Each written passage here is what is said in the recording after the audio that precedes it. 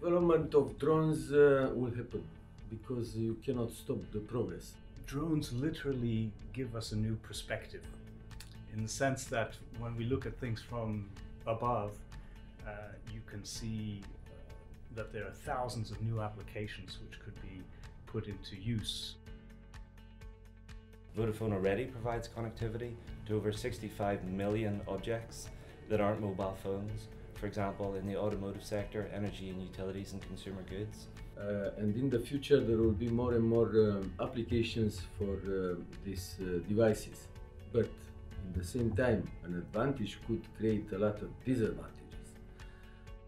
So I think we um, we can help in, in quite a few different ways. I think this morning was a good example where we convene the industry and stakeholders, and I think one of the things we can do is facilitate that that discussion. We believe it's important to have three objectives in mind.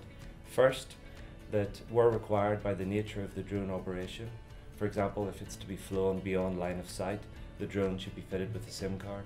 This will ensure the electronic identification of the drone, facilitate compliance with no-fly zones, for example. It will also enable a registration scheme for drones to be set up and allow the identification of drones in flight, which will be very important for enforcement purposes. Second, we think it's important that spectrum regulatory authorities ensure there are no barriers to the use of licensed spectrum for drones, either existing 4G spectrum or in the future 5G spectrum.